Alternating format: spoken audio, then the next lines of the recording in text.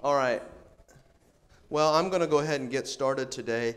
Um, so, uh, today is going to be one of the more, uh, I'll say, important. I think we've got some people rolling. Come on in, Wesley. All right. It's okay. We're a little thin today. There, Brother Corn's teaching the stiff competition. It's okay. Um, so, uh, what we're going to do today, my plan for today was uh, the last uh, seven or eight weeks we've been talking about uh, Bible versions, the King James Bible, and so on and so forth. And so today is going to be the last lesson on that. And uh, what I want to do today is so we've thrown all the puzzle pieces out on the table. You know, we've talked about the different things with the history of the Bible and comparing them and the old language and some of the manuscript and historical things. What we're going to do today is we're going to take all those pieces and put them together. So, my intention for today is that um, for today you can look back and, you know, if, if you ever question, you know, why are we King James? um, then you can look back at this lesson and I'll just tell you. Uh, if you don't know why after today, then I don't know what to do with you. So um, uh, today is going to be uh, pretty burdened with today, and um, so that, that is that. My intention is to present the, the lesson today in a way that uh, if I was assuming the audience had no prior knowledge and was completely unbiased. Now, obviously, we've had eight weeks of prior knowledge. So when I present this, um, just keep that uh, into consideration, all right? And so what I'm, we're going to talk about today is the, what I call the two paradigms of Bible translations. Uh, really, there is not one Bible, um, but there's also not five, six, ten, hundreds of Bibles. There's two Bibles. Uh, there's two and there's two paradigms of the Bible, Bible translations, and the history of how we got the Bible. And we're going to talk about those two paradigms today. But first, let's lay a scriptural foundation. Genesis chapter 1, verse 1 In the beginning, God created the heaven and the earth, and the earth was without form and void, and darkness was upon the face of the deep, and the Spirit of God moved upon the face of the waters. And God said, Let there be light, and there was light. So from the very beginning, we see there is power in the Word of God, there is authority in the Word of God. Exodus 24 4, and Moses wrote all the words of the Lord. So now we know that God's word is powerful, it's authoritative, and now we're saying God's words are being written down. Okay, we call that scripture, the written word of God. Uh, a beautiful example of this is in Jeremiah 36, verse 2. God says to Jeremiah, Take thee a roll of a book and write therein all the words that I have spoken unto thee. Again, the, the written word of God. Uh, Joshua 1 8, This book of the law shall not depart out of thy mouth, but thou shalt meditate therein day and night, that thou mayest observe to do according to all that is written therein. For then thou shalt uh, for then thou shalt make thy way prosperous, and then thou shalt have good success. Psalm, I, I was thinking about singing it. I was, I was getting there. Yeah. Uh, Psalm 119, 105. Thy word is a lamp unto my feet and a light unto my path. Psalm 138, verse 2. I will worship toward thy holy temple and, pri- and praise thy name for thy loving kindness and for thy truth for thou hast magnified thy word above all thy name. John 1 1 In the beginning was the Word, and the Word was with God, and the Word was God. John 17 17 Sanctify them through thy truth, thy word is truth. Revelation 19 11 And I saw heaven opened, and behold, a white horse, and he that sat upon him was called faithful and true, and in righteousness he doth judge and make war. His eyes were as a flame of fire, and on his head were many crowns. And he had a name written that no man knew but he himself. And he was clothed with, clothed with a vesture dipped in blood, and his name is called the Word of God. And the armies which were in heaven followed him upon white horse, clothed in fine linen, fine linen, white and clean. And out of his mouth goeth a sharp sword. Um, that with it he should smite the nations, and he shall rule with them a rod of iron, and he treadeth the, the winepress of the fierceness and wrath of Almighty God. And he doth on his vesture and on high a name written, King of kings and Lord of lords. Revelation 22 18. For I testify unto every man that heareth the words of the prophecy of this book. If any man shall add unto these things, God shall add unto him the plagues that are written in this book. And if any man shall take away from the words of the book of this prophecy, God shall take away his part out of the book of life and out of the holy city and from the things which are written in this book. It seems to me God really cares about his word. He is the living word, and he did promise to preserve the written word. Psalm 118:89 says, "Forever, O Lord, thy word is settled in heaven." Psalm chapter 12 says, "The words of the Lord are pure words, a silver tried in a furnace of earth, purified seven times. Thou shalt keep them, O Lord, thou shalt preserve them from this generation forever." forever. Matthew, Mark, and Luke record the following statement that Jesus said Heaven and earth shall pass away, but my words shall not pass away. Matthew 5:18 For verily I say unto you till heaven and earth pass one jot or one tittle shall in no wise pass from the law till all be fulfilled. So God does care about his word. He does care about his written word.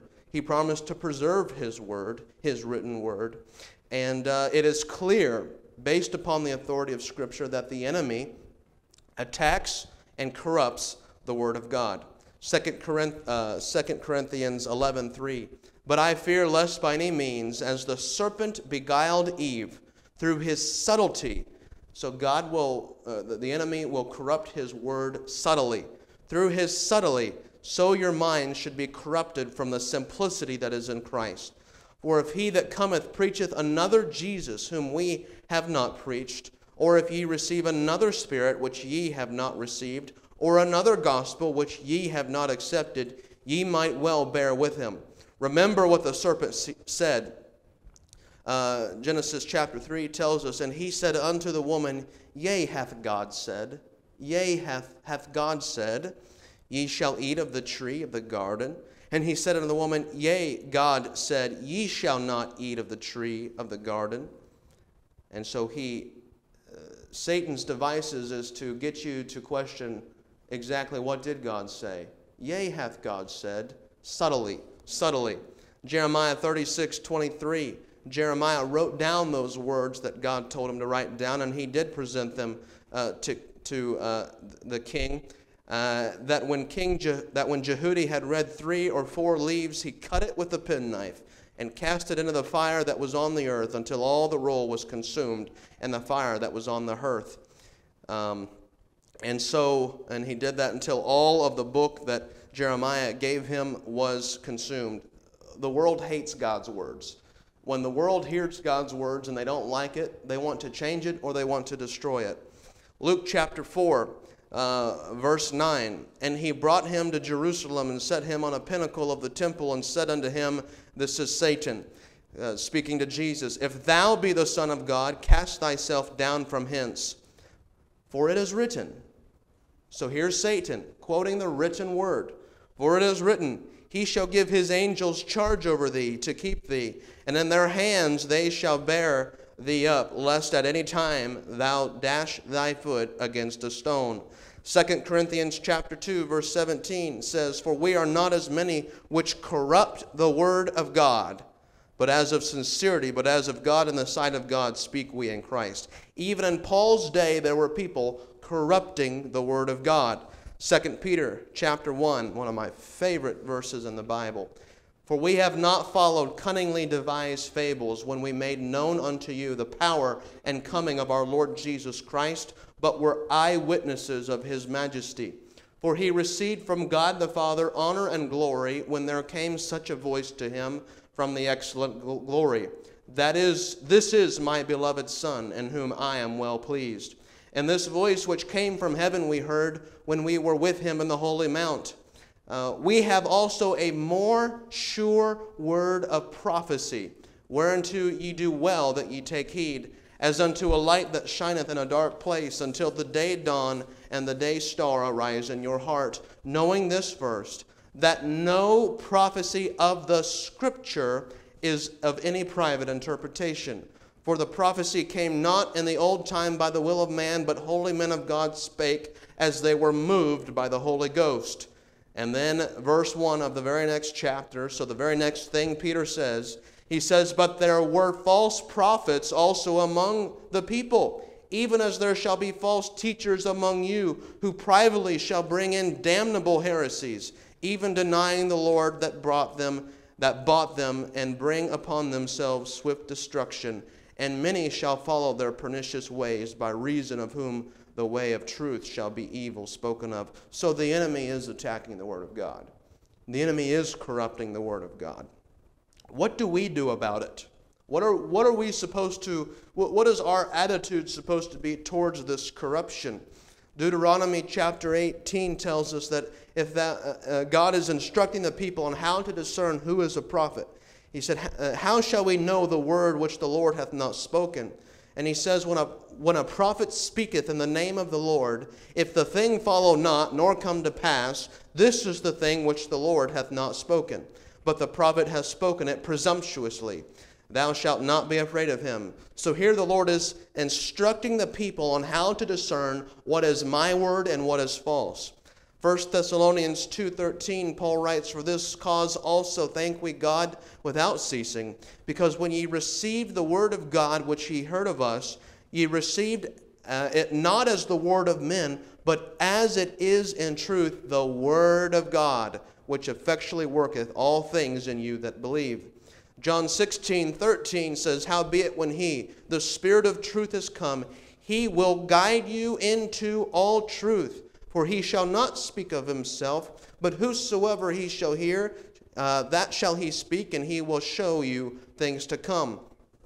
Paul charged Timothy in 1 Timothy chapter 6 verse 20. He says, "O Timothy, keep that which is committed to thy trust, avoiding profane and vain babblings and oppositions of science, falsely so called." Now that word science in the Greek is gnosis. That's where we get the word gnostic from. If something is Gnostic, they claim to have a higher knowledge, a higher understanding than God. Uh, and so Paul is simply saying, reject these people that claim to have a higher knowledge, a higher understanding of God than that which is in the Scripture. Okay, so what is the charge to Christians? It is we are to discern what is and what is not the Word of God. And what is our litmus test? I remind you from week three the things that we said the Word of God will always be this. It's actually right there.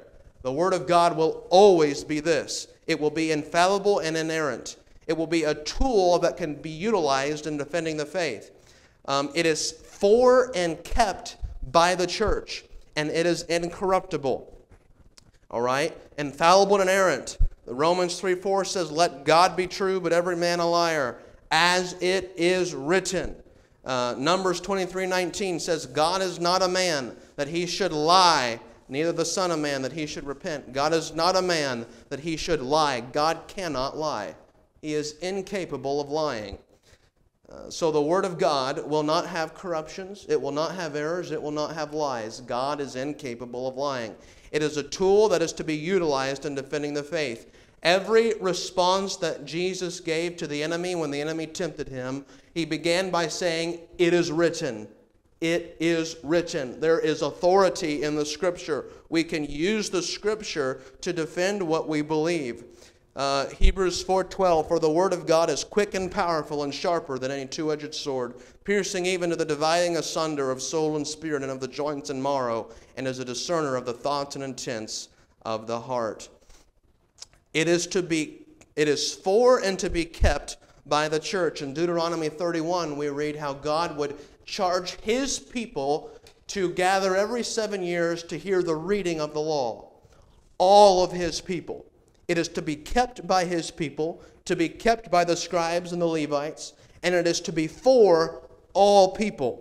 all of God's people. Colossians 4:16 when when at the end of uh, uh, Paul's epistle to the Colossians he said cause that it be read also to the church of the Laodiceans that ye likewise read the epistle from Laodicea he told the church in, uh, in 1 uh, Thessalonians 5.27, I charge you by the Lord that this epistle be read unto all the holy brethren. The Bible is for the church.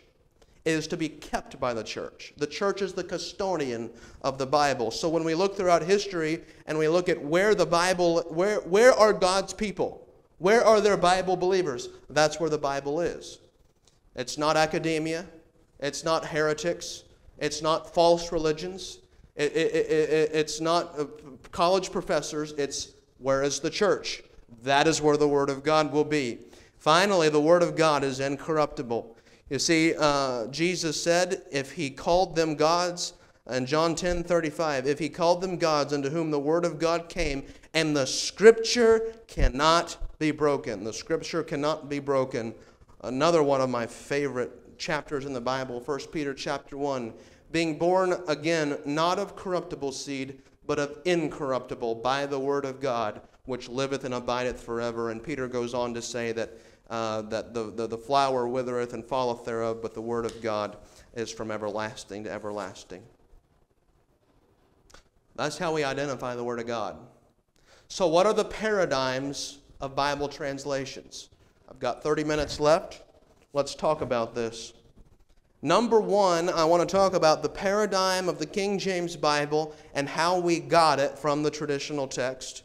And number two, I want to talk about the paradigm of modern versions and how they came from what we call the critical text. Number one, the paradigm of the manuscripts. How are the object, what are, what are the objective manuscript facts? We just step back, look at the manuscripts, what are some objective facts? First of all, the traditional text is supported, the traditional text that we derive our King James Bible from, is supported by 99% of extant Greek manuscripts, of existing Greek manuscripts. 99%. It has overwhelming early church father support. You realize in the first, second, third, and fourth centuries, we have 84 thousand early church father quotations, okay, in the first four centuries. Overwhelming, the overwhelming evidence of the church father quotations come from the traditional text. We have overwhelming early translational evidence. So, not just Greek manuscripts, but what was translated into Latin, into Syriac, into Coptic, and all these other languages. Overwhelming support for the traditional text. It has been used by the church throughout the centuries. Used by the church throughout the centuries. It encompasses a wide geographic location. So within the traditional text, we know there are multiple streams of transmission, multiple different lines of transmission. Some will say that the fuller reading of the, of the traditional text that was added in by scribes. Well, the fact of the matter is that within this body of 5,800 manuscripts, there are multiple streams of transmission. How did 20 different scribes and multiple locations correspond to add in the fuller reading that is now in our Bible? I don't think so. It can be traced back to historically and translationally to, to Antioch, which is important. Antioch was the first established church in the Bible. It would be from Antioch that Paul would go forth from his, uh, missionary, his first missionary journey. Antioch was the first missionary sending church. And vitally importantly, it is internally cohesive. It's harmonious. It's not full of contradictions. Uh, uh, there's a consistency within the text. That is the objective uh, manuscript facts about the traditional text. What are the objective manuscript facts about the critical text? Less than 1%. Less than 1% of all existing Greek manuscripts are in the critical text that the modern versions are derived from. They were, and throughout history, they have been buried in the sands of Egypt or locked away in the Vatican, not being used by the church. Uh, there is virtually no early translational support Latin, Coptic, Syriac, virtually no other translational support. Uh, very, very little early church father support. And what early church father support there is is almost overwhelmingly from Egypt. It's almost overwhelmingly church fathers who are writing who were part of the church at Egypt. Again, an isolated geographic area. Virtually all of the critical text comes from Egypt, not the entire Mediterranean world like the, um, like the traditional text. All from Egypt. That should cause us to ask questions. And even further, more specifically, they are, and even modern scholars are, are, would tell you this, their origin is Alexandria. So we have an origin of Antioch and an origin of Alexandria. We're going to talk about why that's important. And within the critical text, it is not internally cohesive. The question is, aren't, isn't that 1%, shouldn't we rely upon them because they are older manuscripts? Well, under that presupposition, if the older the manuscript, the less variances there will be the more cohesive the text will be. But that's not true. As a matter of fact, the critical text, that is the oldest text, is less cohesive. It, has got more variances, many of which are important scripturally. Solomon did write that in the multitude of counsel there is safety. In the multitude of counsel there is safety. So that is the objective manuscript facts about the, about the text. But number two, historicity. What are the objective historical facts about the text? The traditional text was carried by the church in the Byzantine Empire and by the Bible believers in the Roman Catholic Empire. So, in the Roman Catholic Empire, the Roman Catholic Church brutally uh, uh, persecuted groups like the Waldensians and the Albigensians, if you do a, a historical study. What manuscripts did these that these northern Italy churches use that defied the Church of Rome. Traditional text manuscripts. Isn't that interesting? It was used by God to bring about the Protestant reformations. All the reformers used the traditional text. Why? Because the Alexandrian text was buried in the sands of Egypt. No one was using it at that time. They all used the traditional text. And then specifically with our King James Bible, uh, I, I, would, I would submit to you, based on any historical, uh, any historical study whatsoever, that this is a book that unites nations. This is the book that made America. This book. This one. Uh, many people say about Shakespeare that um, England made Shakespeare, but the King James Bible made England. This is a book that unites nations. Uh, second, and, and I, I don't talk a lot about this, I haven't so far, but the, the fact of the matter is that God has used this book more than any other book in human history. And I'm not just really talking about the Bible, I'm talking about this Bible. Uh, he has used this book in The Great Awakening under the preaching of Jonathan Edwards and George Whitefield, under the preaching of Finney, under the preaching of Spurgeon, Moody, Billy Sunday. Whether you like him or not, Billy Graham preached out of this book. All right? Uh, it is, uh, he was no means a King James onlyist, but when you look at where he was the most doctrinally sound early on in his ministry, he was King James only, uh, and he always preached out of this book. It is true that, that there has been and still is more missionary work done by missionaries sent with King James Bible than any other translation. Okay, compare that historical paradigm to the historical paradigm of the critical text. The critical text, as I said, it has its origins in Alexandria. In Alexandria, Egypt, in the time, there was, a, there was what we call the Great School of Alexandria. Okay, so this is a school of Alexandria. It was really the first liberal arts seminary, uh, really, in the history of Christianity. Not really a good thing, and uh, in my opinion. What do we know about the school of Alexandria? It was full of Gnostic, people that thought to have a higher knowledge than what the scripture says, full of Gnostic and heretical thinking. It was ecumenical. What does ecumenical means? It means we're going to welcome all trains of thought. We're going to welcome anybody and anybody that thinks they know what, what you know the truth about the Bible.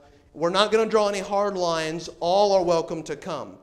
Okay? If you think you, you, you know, you know, if you think you have this higher knowledge of the scripture than what the scripture says, come on over, you're welcome. Ecumenical. All are welcome. Uh, what else do we know about this Gnostic uh, kind of thinking? Um, they were adoptionists. Okay? They literally believed that God adopted Christ. Okay? That Christ was not begotten of God, that Christ was not God, but that God adopted Christ. In other words, he was a created being and was subordinate to God. Completely contrary to what Christ said. He said, I and the Father are one. What else do we know? Acts chapter 6, verse 9. The only time the Alexandrians are mentioned in your Bible is in Acts chapter 6, verse 9. Then there arose certain of the synagogue, which is called the synagogue of the Libertines, and Syrians and Alexandrians, and of them of uh, Cilicia and of Asia, disputing with Stephen. So the only time in your Bible where we hear about the Alexandrians, they are arguing with Stephen. And this is the same chapter in which they then deliver Stephen to the council, and then which leads to him being stoned. Okay, the Alexandrians. Every reference to Egypt in the Bible is bad. Every single one. Excuse me if I don't want a Bible that originates from Egypt. All right? I'm just trying to use the Bible to apply the Bible. We must understand the modern theory of textual criticism of the critical text. They would tell you that the words of God were lost around the third century, that they were buried in a monastery at Mount Sinai in Egypt, or they were buried in, in clay jars in the sands of Egypt, and that this, under this theory, the words of God were lost. And we have now, in the, eight, in the middle of the 1800s, started digging them up out of the sands, and so now we can have the Word of God. The problem is, it's completely contrary to what the Bible says about itself that every generation will have the Word of God. They will tell you that there was no complete Bible based upon the critical text until 1881 in any language. What else do we know? The critical text has brought about no revivals ever, none, period. None. None. The critical Bibles are, the critical text and the modern Bibles are admittedly, you can read the preface and they'll tell you this. They are designed to be ecumenical. Uh, there, my, my dad, he, he has an NIV Bible on his shelf. That's what he was given when he was baptized back in the 80s.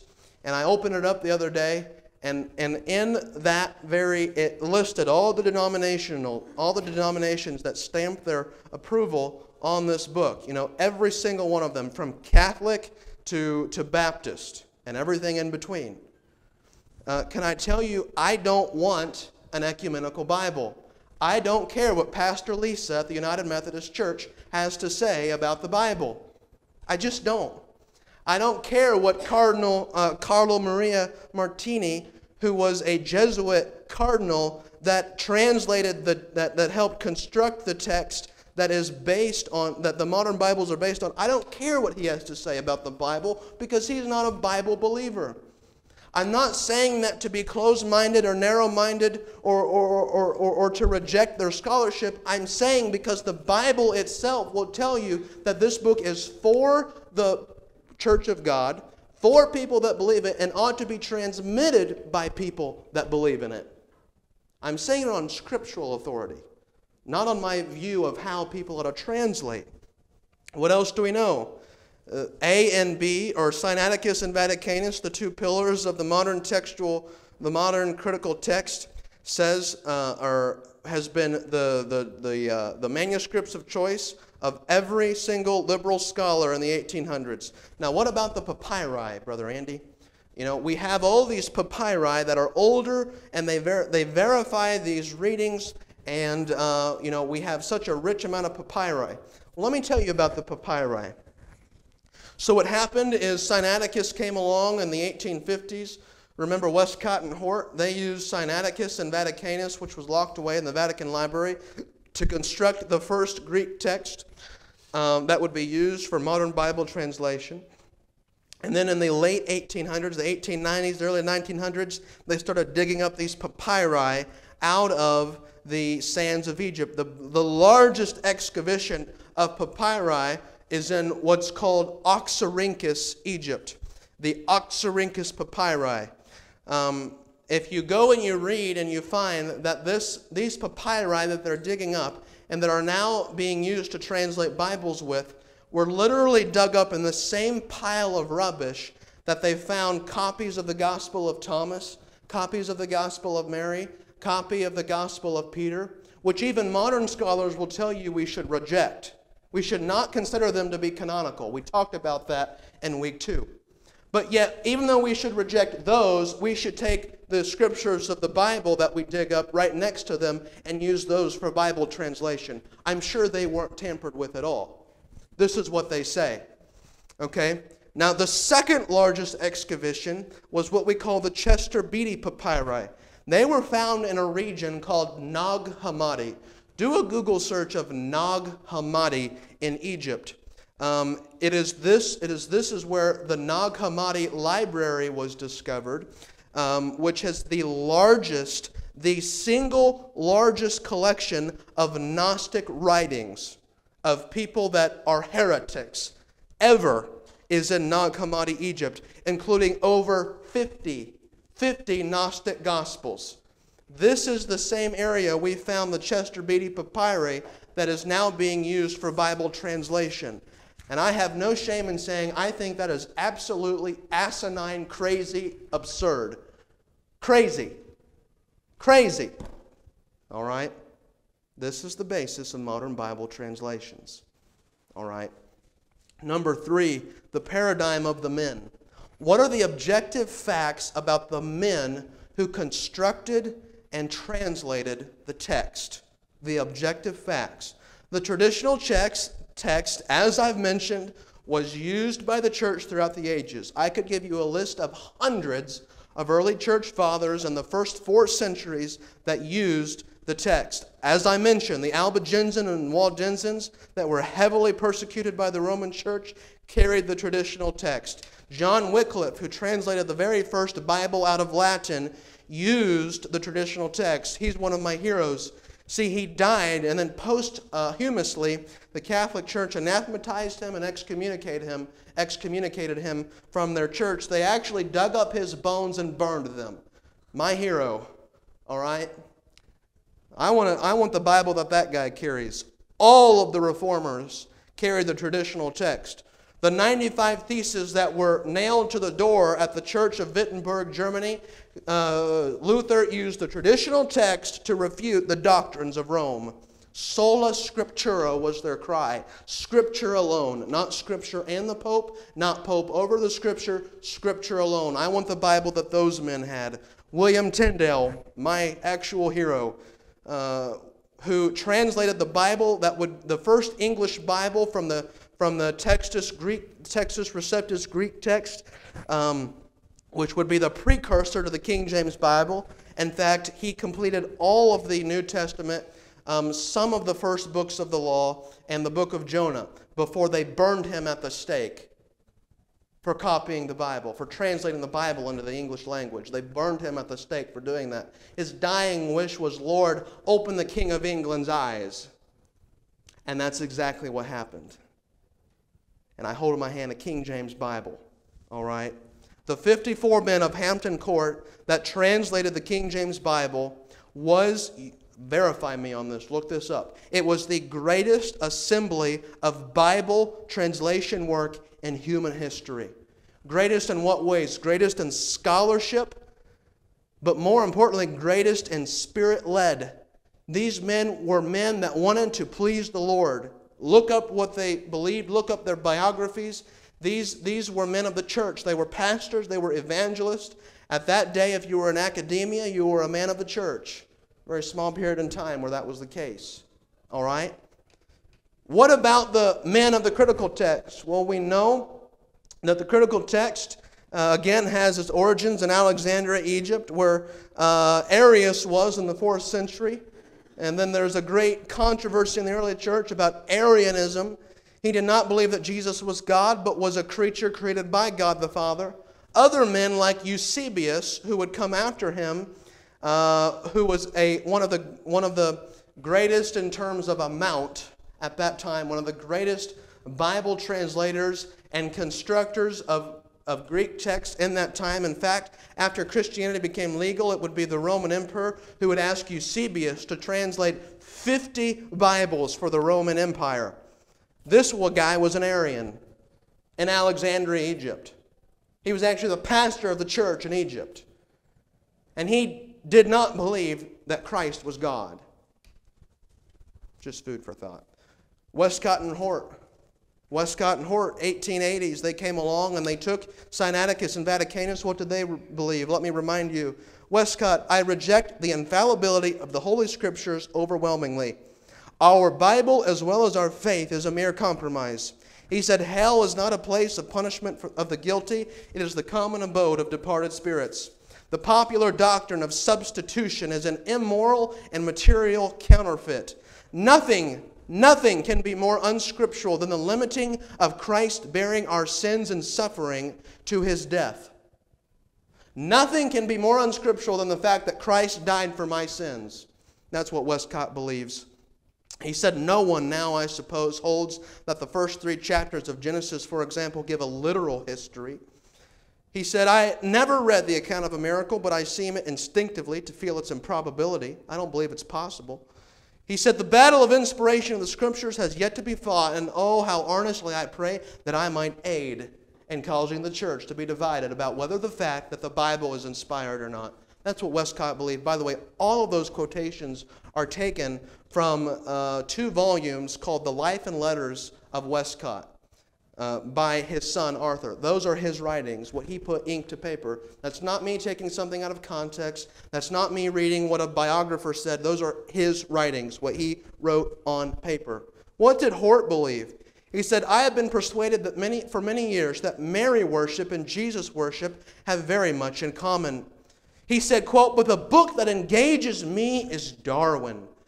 Uh, whatever may be thought of it, it is a book that one is proud to be contemporary with. At present, my feeling is strong that the theory, the theory of evolution, is unanswerable. And then he said, the positive doctrines uh, of the evangelicals seem to be perverting rather than untrue. He said basically the, the doctrines of the faith are perverted and they're not true. There are, I feel, still more serious differences between us, meaning him and the evangelicals of the day on the subjects of authority, and especially the authority of the Bible. So the doctrine of evolution is unanswerable. But the authority of Scripture, uh, that's shaky, all right? I'm not so sure about that. That's what Hort believed. That's the root. By the way, no good fruit can come from a corrupt root. Did you hear what I said? No good fruit can come from a corrupt root. Okay, what about the lexicons that modern translators use? Okay, so a lexicon is where we take a Greek word and we figure out what is the English equivalent. The first guy to use a, to, to create a lexicon um, back in the 1800s that would be used for, for Bible translation was a guy by the name of J. Henry Thayer. He was Harvard educated, so he must be the most brilliant guy ever. He was Unitarian not a Bible believer, and not doctrinally sound. Even to this day, if you, have you heard of Blue Letter Bible? You can get on the, the internet and, and compare different things and Greek translations and so on and so forth. Even Blue Letter Bible would state this about his lexicon. They have a caution warning. They say, according to Baker's modern copyright edition, Thayer was apparently not doctrinally sound in all areas. I love how they said that. In all areas, particularly in the area of the Trinity, and so the user must be on guard. Uh, we would, and then they, they say we would appreciate if any actual examples of doctrine error uh, would be provided so that we can give uh, uh, caution tags for the reader. Gerhard Kittel, I talked about Gerhard Kittel. He was uh, Adolf Hitler's high priest. He edited, this is the same guy that wrote the theological foundation for Hitler to persecute six million Jews. He edited the lexicons that are being used in modern Bible translation. That's a fact. Look it up, people. All right. I better, uh, I better keep rolling. Men like Eberhard Nestle would come along. they would develop a Greek text based on Westcott and Hort and some of these other manuscripts. A man by the name of Kurt Aland would then edit his text, and then the most, the most popular Greek text used as the basis for modern Bibles today is called the Nestle Aland Greek text. Its root is the Westcott and Hort Greek text, taking into account some of these other papyri that they found. Said, and I've got a whole page of, of, of um, uh, basically, Kurt Aland um, did not believe in the veracity of the scripture. He did not believe that Moses literally wrote the books of the law. Um, he, he was an extreme ecumenist. He actually had two, uh, two audiences with the Pope presenting him this new ecumenical Bible that the Catholic Church and the Protestants are now united on. He was very proud of it. Bruce Metzger would come along. Bruce Metzger is, you ask any modern critical scholar today, Bruce Metzger has his fingertips on every single modern translation of the Bible ever. Okay, what did he believe? He did not believe that Moses literally wrote the books of the law. Uh, he did not believe that many of the writers, like Peter, James, Paul, Moses, that they weren't the actual authors of these books. Um, he has a whole host of people that studied under him who are now uh, actually agnostic Bible critics, one of the most famous being Bart Ehrman, who is now the head of the theology department at uh, UNC Chapel Hill, who stands in front of thousands of students every single year, telling them that God is not true and we don't have the text of the Bible because of what he studied under Bruce Metzger. Okay, so on and so forth. I could keep going. Where are we at on modern scholars today? The guys that are doing the work today, constructing the text, doing the translation. James, or excuse me. Uh, well, there's a scholar named James White. Uh, he goes around debating King James only as he, he, he's got a big ego. Um, and, uh, but he is very smart. I like to listen to him when he's just giving a lecture, but when he debates people, he, he, he's not very nice and he makes them feel really dumb. But he said, quote, 80% of all Old Testament scholars don't believe in Mosaic authority, authorship. Don't believe in Mosaic authorship. 80% of all Old Testament scholars today don't believe that Moses wrote the first five books of the Bible when that's what they say, that's what Joshua says, that's what Jesus himself said. All right? Think about that. Do we have Bible believers doing Bible translation work today? 80% of them apparently don't. They're men of academia. All right? So on and so forth. What else do we know? But, Brother Andy, are there actual differences? Like, really? Aren't they just the same, only worded a little differently? Aren't they? Well, you, you tell me. In Ephesians 3 9 it uh, says, And to make all men see that what is the fellowship of the mystery which from the beginning of the world hath been hid in God, who created all things by Jesus Christ. The phrase by Jesus Christ is completely removed from modern translations. 1 Timothy 3:16 and without controversy great is the mystery of godliness God was manifest in the flesh. You know what the new Bibles say? He who was manifest in the flesh not God, was manifest in the flesh. I'm going somewhere with this. 1 John 4 3. And every spirit that confesseth not that Jesus Christ is come in the flesh. The modern Bible say every spirit that confesseth not that Jesus is come in the flesh. Not Jesus Christ, Jesus. And I could go on and on. Matthew 16 20, uh, Acts 16 31. Believe in the Lord Jesus Christ. It just says, believe in the Lord Jesus. Um, you say, Andy, you're being pretty nitpicky there. Separating Jesus from Christ, Lord Jesus Christ. And I'll tell you, that's exactly what I thought when someone first told me. That's kind of nitpicky. I mean, it's still the same guy, Christ and Jesus. You're right, that is nitpicky. But it doesn't happen once or twice, or five times, or ten times, or 30 times, or 60 times, or 70 times. 86 times in the critical text, there is a severance between Jesus and Christ or Jesus and Lord. 86 times. The Gnostics didn't believe that he was Lord. 86 times.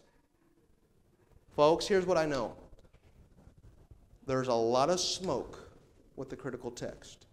And usually, where there's smoke, there's a fire. 86 times. In light of the fact that they have stripped away the doctrinal support for the fact that he was born of a virgin, They've completely removed 1 John 5 7, for there are three that bear record in heaven the Father, the Word, and the Holy Ghost. They've taken out that he is the Alpha and the Omega, the first and the last in Revelation 1:11. They've changed, he thought it not robbery to be equal with God in Philippians 2 6, with the, he thought it not something to be grasped, whatever that means. He said, um, so on and so forth, all right? You know, not to mention that they said that he is uh, Lucifer in Isaiah chapter 14. Nothing too important. Okay, these are strange sounds. Two minutes, all right? Then we'll be out of here. Why? The paradigm of the money. When the, King James, when the King James Bible was first published in 1611, it was under the copyright of the Crown of England. God providentially saw fit for 13 British colonies in the New World to declare independence. How interesting and that and they would lead the way for every other English speaking nation in the world to ignore British copyrights. Today the King James Bible is in the public domain. The public domain. It is the people's book.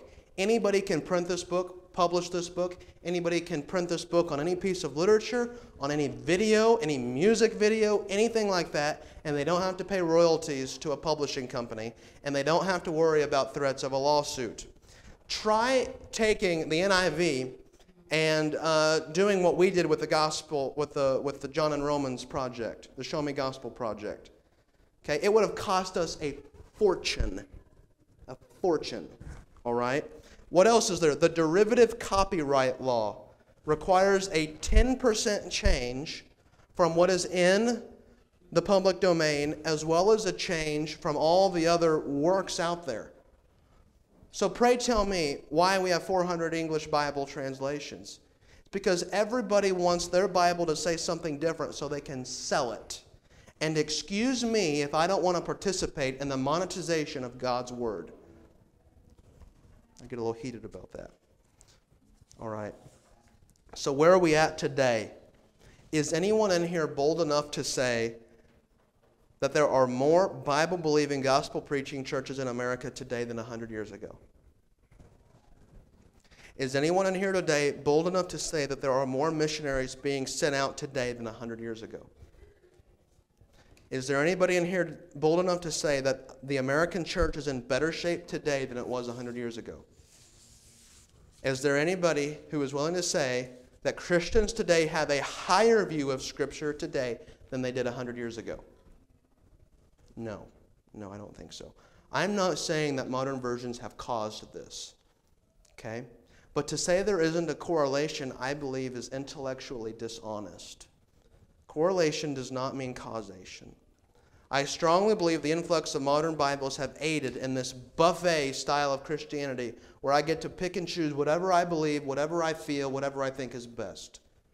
I strongly believe they have uh, they have said that. As many of you know, I have been in many, and I'm not trying to flaunt this or brag, but I've been in many Bible studies where we've gone verse by verse at the University of Missouri campus through the book of Acts, through the book of Mark, through the Gospels, and we've gone verse by verse. And I was floored when I was sitting in a room full of six other Christians, and we read verse by verse through Acts chapter 8, and they went from Acts chapter 36 uh, at 836 to 838, and no one flinched. And I was waiting for the teacher to say something. I waited for an hour, and no one pointed out the fact that, hey, there's a verse missing. Okay? If I had a dollar for every time I heard, what does your translation of the Bible say? Oh, mine says this. Oh, isn't that nice that we, we have all these translations? Listen, when God said, study to show thyself approved, He didn't mean get out your NIV, your NASB, your ESV, your NKJV, your KJV, your RSV, your ASV, your NLT, your Living Bible, your Good News for Modern Man, and compare all of them and see which one you like best. That is not what He meant. All right, I'm about, I'm, I'm done. All right.